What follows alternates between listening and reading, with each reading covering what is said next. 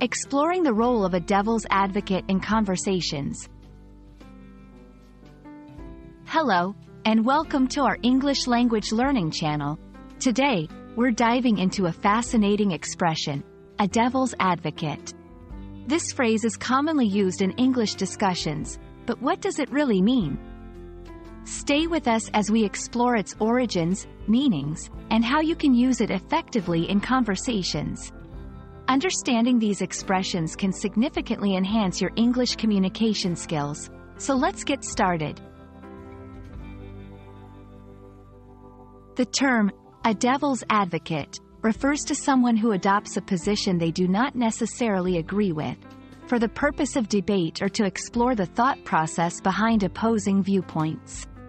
Interestingly, this phrase has its roots in the Catholic Church, where an appointed person would argue against the canonization of a candidate to ensure all factors were thoroughly considered.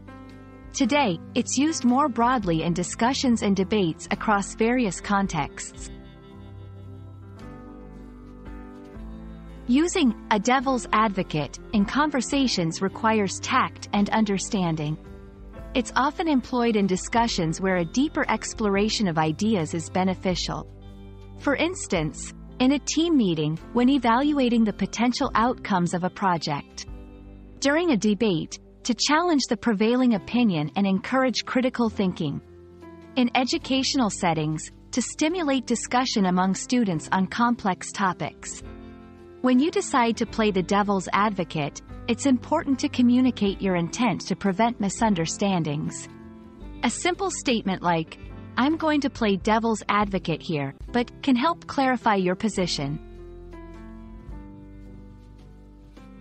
Playing the devil's advocate can be incredibly valuable in both personal and professional contexts.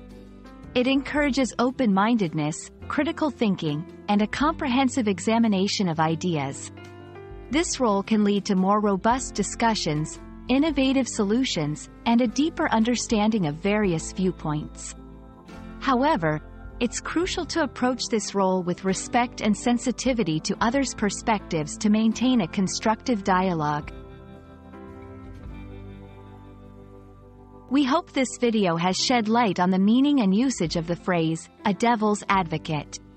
By understanding and applying this concept in your conversations, you can enhance your communication skills and contribute to more meaningful discussions. Remember, the goal is not to provoke but to explore ideas in depth. Thank you for watching, and we look forward to bringing you more insights into the English language. Happy learning!